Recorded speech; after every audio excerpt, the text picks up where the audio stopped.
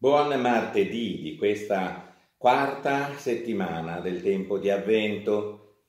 Sempre di più ci approssimiamo al Natale del Signore e il brano del Vangelo di questa giornata è proprio l'annuncio dell'angelo a Maria con il sì di questa coraggiosa ragazzina a questo piano di salvezza universale di Dio. Viene da tremare davanti a questo coraggio, a questa disponibilità, a questo pronto sì.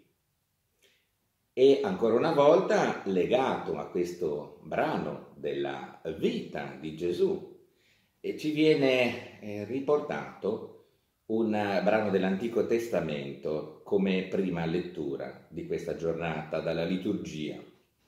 In quei giorni il Signore parlò ad Acaz, chiedi per te un segno dal Signore tuo Dio, dal profondo degli inferi oppure dall'alto. Ma Acaz rispose, non lo chiederò, non voglio tentare il Signore. Dal libro del profeta Isaia impariamo questa eh, decisione di non compromettersi con Dio da parte del re di Israele. Pur conoscendo la storia di interventi prodigiosi da parte di Dio a favore del suo popolo, c'è questa mentalità del temere Dio che poi chieda qualcosa che rovina la mia vita, i miei sogni, i miei desideri. Quindi, anche se mi offre il suo aiuto, io non lo voglio.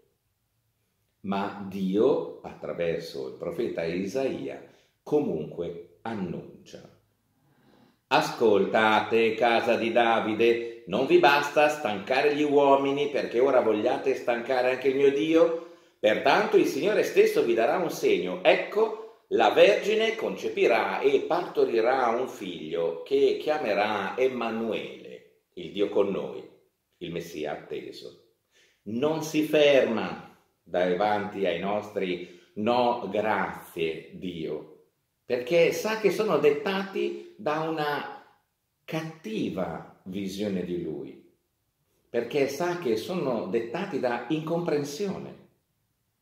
Egli è il nostro Padre ci ha desiderati, creati per la nostra felicità, perché potessimo gustare la pienezza della vita nel tempo che già ci piace tanto, all'eternità.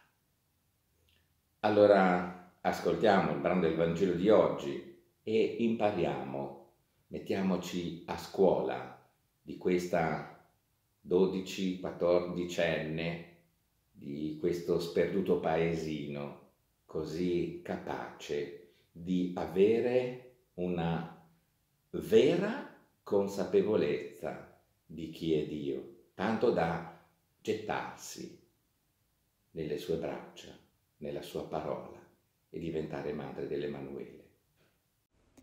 Dal Vangelo secondo Luca. Nel sesto mese l'angelo Gabriele fu mandato da Dio in una città della Galilea chiamata Nazareth, a una vergine, promessa sposa di un uomo della casa di Davide chiamato Giuseppe. La vergine si chiamava Maria.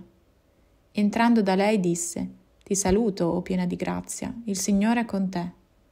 A queste parole ella rimase turbata e si domandava che senso avesse un tale saluto. L'angelo le disse, Non temere, Maria, perché hai trovato grazia presso Dio. Ecco, concepirai un figlio, lo darai alla luce e lo chiamerai Gesù. Sarà grande e chiamato figlio dell'Altissimo. Il Signore Dio gli darà il trono di Davide, suo padre, e regnerà per sempre sulla casa di Giacobbe, e il suo regno non avrà fine. Allora Maria disse all'angelo, Com'è possibile? Non conosco uomo. Le rispose l'angelo, lo Spirito Santo scenderà su di te, su te stenderà la sua ombra la potenza dell'Altissimo. Colui che nascerà sarà dunque santo e chiamato figlio di Dio.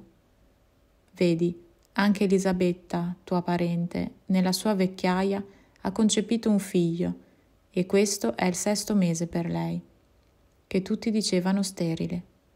Nulla è impossibile a Dio.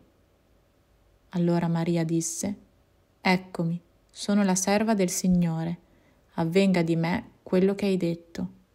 E l'angelo partì da lei.